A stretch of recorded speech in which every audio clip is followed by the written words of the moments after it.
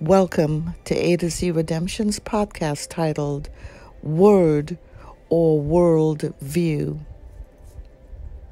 There's only a one letter difference between the words word and world, but they are realms apart.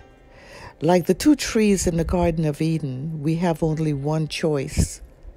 It's either having a word view or a world view. There is no middle ground for any of us. Remember, even the tiniest bit of yeast leavens the entire loaf.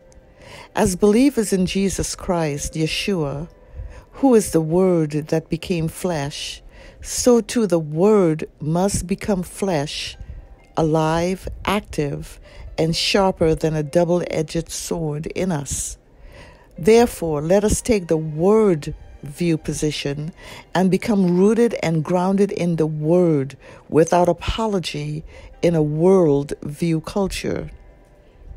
In other words, if the perspective, view, or position is not established in the Word of God, it's not for me, no matter how attractive, appealing, or popular it may appear.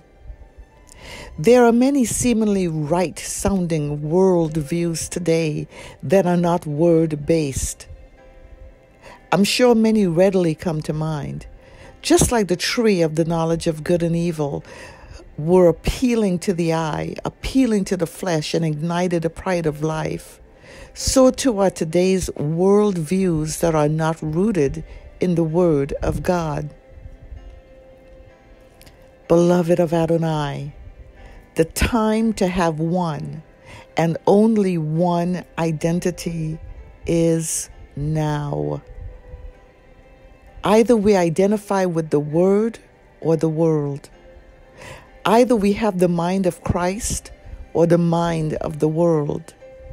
Either we live, move, and have our being in the Word or the world that is in every arena political, financial, moral, cultural, racial, national, liberal, conservative, in every sphere of life.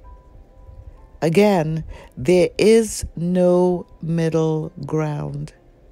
Remember, we are born again into the kingdom of heaven, not the world. Our citizenship is in heaven, not this world that we are momentarily passing through. As such, we are invited to put on the mind of Christ, to think like the King of our kingdom. Remember, the Word, it is no longer I who lives, but Christ who lives in me. Thank you for listening.